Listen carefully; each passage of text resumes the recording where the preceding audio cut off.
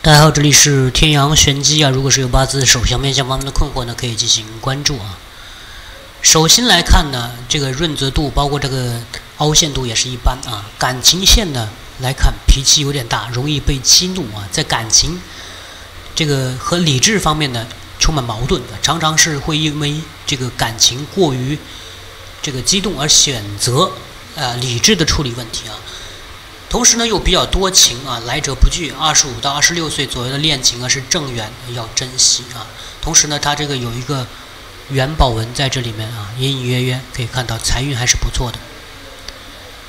我们看这个生命线啊，弯弯曲曲，弯弯曲曲，又有支线啊，事业上是多劳碌奔波啊，外出谋生。从智慧线来看呢，这个是比较聪明啊，但是做事缺乏决断力啊。感情线多支线。末端的弯曲，而且下垂啊，跟智慧线相接，感情方面多纠葛，而且容易出现比较大的冲突啊。这个不是断掌啊，这个不是断掌。我们看这个手相当中的财运线还是比较深深的，而且三条财运线从水星丘出发。啊，往下延伸啊，往下延伸，并且其中还有一条财运线跟智慧线相交，继续往下再跟生命线相交，形成三角形的纹路啊。这个手相呢，不论男女啊，必定是衣食无忧，钱财不缺啊，是一个三角令旗纹财库。财运线我们有一期节目讲的是是越长越好啊，包括太阳线也是。那么这个呢是。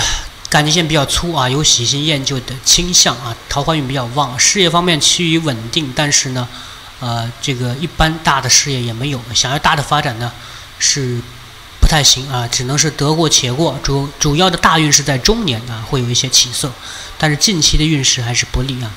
这个生命线开端附近呢，这个比较发紫发青啊，这个长色不太好。